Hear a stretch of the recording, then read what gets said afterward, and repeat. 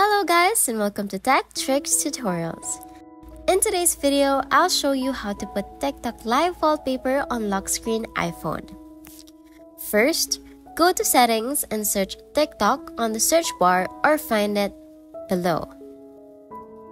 Once located, select the app and go to photos. Select allow all permissions. After that, go to TikTok and find a video you want to use and save it as a live photo.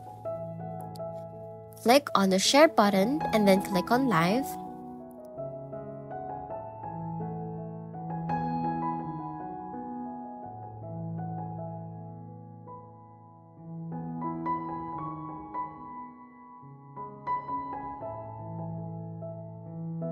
Once saved, go to Photos and find your saved video.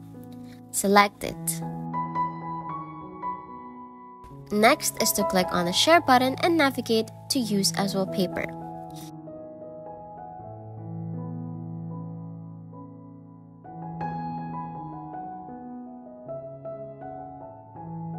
You can move or scale it around. Make sure that live wallpaper is turned on. And that's it. You've successfully put TikTok live wallpaper on lock screen iPhone.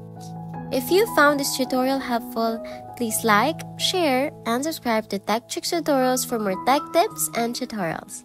Thanks for watching, and I'll see you in the next one. Bye!